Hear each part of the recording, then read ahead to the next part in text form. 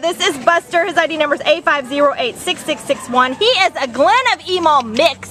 Oh my gosh, look at his gorgeous eyes and his fuzzy, fuzzy coat. He's about six months old, so this guy is a puppy. He came in as an owner's turner on July 6th. No reason that I have given. He weighs 26 pounds. Um, Glen of Imaals usually get to be about 35, but if he is a mix, um, then, then we're not really sure exactly, you know, how big he will get, but he definitely will be bigger than he is now.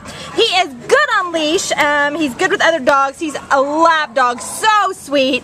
And as a puppy, he's gonna need all his, you know, puppy training, learn all the puppy basics, some, get some, you know, good doggy manners. But he is gonna be make an amazing family dog. He's just such a lover and a cuddle bug, and just a lot of fun. He loves other dogs. Yeah, yeah, yeah. Oh, ow, ow. He sees He wants the to go dog play. right now. There's dogs all around here, and he just wants to go play with them. So if you are, you know, looking for a wonderful puppy such as this, then come on now, meet Buster. Take him home with you from the Baldwin Park Shelter.